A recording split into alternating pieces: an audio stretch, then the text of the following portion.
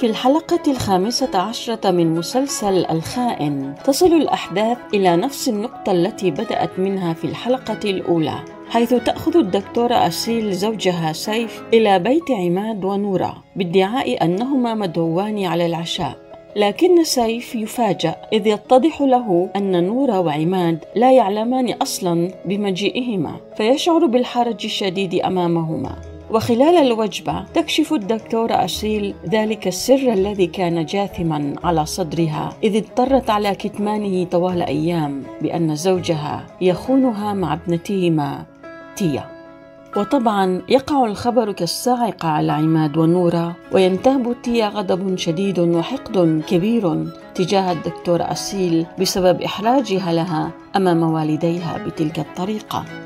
أما زوجها كل ما يهمه في الحوار الذي دار بينه وبين الدكتورة أسيل بعد خروجهما من بيت عماد ونورة هو منذ متى تعرف زوجته بذلك؟ ولماذا لم تخبره وأحرجته أمام عائلة عماد ونورة بتلك الطريقة؟ من إمتى بتعرفيه؟ ولك عين تسأل. جاوبيني. من إمتى بتعرفيه؟ من يوم عيد ميلادك. من لما لقيت تليفونك الثاني اللي مخبيه بالسيارة شو؟ ليش ما حكيتي لي أنا بالأول؟ بدون هالمسخرة والفضايح اللي عملتيها قدام الناس؟ ليش أنت حكيتني؟ لما صاحبت من سنتين ولا ما بعرف شو اللي صار معك قلت لي شيء جربت تكون صريح معي ما كان فيني أقول بعدين حتى لو قلت لك كنت رح تمرقي لي إياها وتسامحيني يعني؟ حكيتك بكل وضوح وقلت لك إذا بتعترف لي وبتقلي إنك رح تتركها رح سامحك. كرمال حياتنا وكرمال ابننا وكرمال كل شي بيناتنا. كانت فرصتك الوحيدة بس أنت ما استغليتها. لا ضليت مصر إنك تكذب. كنت عم تكذب وعينك من نص عيني. صدقيني ما كان قصدي. اللي صار كان غصبا عني. هذا الحوار الذي دار بينهما لم يكن مقنعا بالنسبة لي. أحسسته ضعيفا جدا ولم أحبذ وضع الزوجة في ذلك المكان الذي تلام فيه وتؤنب على ما فعلت. بدل أن يشعر الزوج بالخزي من نفسه بسبب ما فعله هو. أنا آسف. عن جد؟ وتخبر الدكتورة أسيل زوجها في ذلك الحوار أنه سيخسر كل شيء حتى شركته وأنها تعرف كل شيء عن وضع الشركة. رح تخسر كل شيء. رح تخسر كل شيء. أنت أصلا أوريدي خسران شركتك. لا. لا مو صحيح هذا الحكي. بلا سالم قال لي. سالم مستحيل يقول لك هيك شيء. سالم قال لي كل شيء بعد ما نام معي. ثم يذهب سيف إلى سالم لمواجهته فيقول له سالم إنه لا يساوي شيئا بلا أسيل أنت بتغار من كل شيء أنا بملكه وأنت ما عندك اياه اللي شوف هذا الحكي مزبوط ولا لا؟ عن اي سعادة عم تحكي؟ عن اي قوة عم تحكي؟ أنت ماشي. انت ما بتسوى شيء لو ما أسيل مرتك.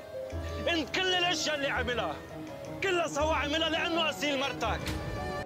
من أكثر ما كان مؤثرا في نفسي عندما اتصلت نادين بوالدتها لتشكو لها همها مع زوجها سالم فتجدها تشكو لها والدتها همها مع أختها بسبب خلافاتها مع زوجها.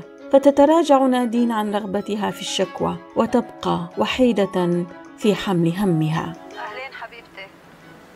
كيفك ماما؟ مش منيحة. من الصبح وأنا عم أبكي بسبب أختك. يا أخت شو صاير؟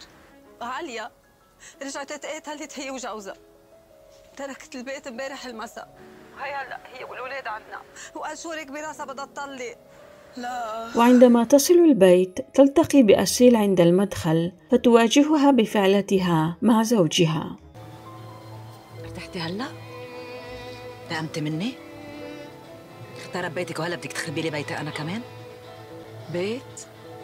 لا تحكي على حالك نادين لا بيتي كان بيت ولا بيتك كان بيت البيت إخلاص ووفا وحب مو مجرد حيطان وسقف وشبابيك ومن أكثر ما أعجبني تلك الثقة التي دخلت بها الدكتورة أسيل إلى مكان عملها في المستشفى والكل من حولها يحدقون ويتربصون بها بنظراتهم فتفاجأ بأن مواعيدها كلها قد التغت. Hi مايا كيفك؟ Hi دكتور. دقيقتين وبلشي فوتي المرضى.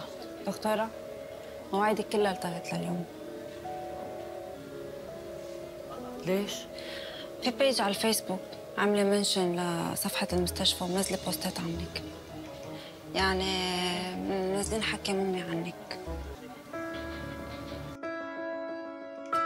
الطلاق خيار.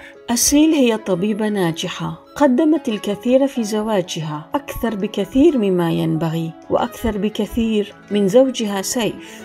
سيف أخذ منها كل شيء وكان يعاملها كأنه يحبها ويحترمها. لكنه طمع بالأكثر وأحب امرأة أخرى أصغر منه بسنوات لأنه أحب ذلك الشعور بالعودة إلى الشباب واللهفة وبداية الحب ودون أن يكترث بمشاعر زوجته التي منحته أكثر مما يستحق ودون أن يؤنبه ضميره بخيانته وكذبه على زوجته. وعندما كشفت أسيل خيانته لم يشعر بالندم على فعلته ولا بتأنيب الضمير بل شعر بالغضب والامتعاض منها ومن صديقه سالم وكان همه فقط ما فعلاه به لا ما فعله هو وعندما اندلعت الحرب بينهما بسبب الطلاق كان هو من يتهمها دون أدنى شعور بالخزي من نفسه ويطعنها في مهنيتها وإنسانيتها كيف قدرتي تعملي هيك؟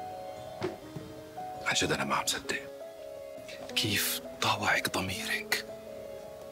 هي الحملة كلها ملعوبة من واحد رخيص عم بيلعب لعبة رخيصة. بالضبط. مثل ألعابك علي. كان فيك تقولي لي بدنا نطلق بكل وضوح وصراحة بدون كل هذا الجنان اللي عملتيه. يلي عملتيه يا دكتورة أسيل ما نسوي أبدا. شو هي؟ محاضرة بالأخلاق؟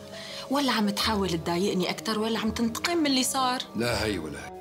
أنا عم بقول لك الحقيقة بس. الحقيقة من واحد خاين وكذاب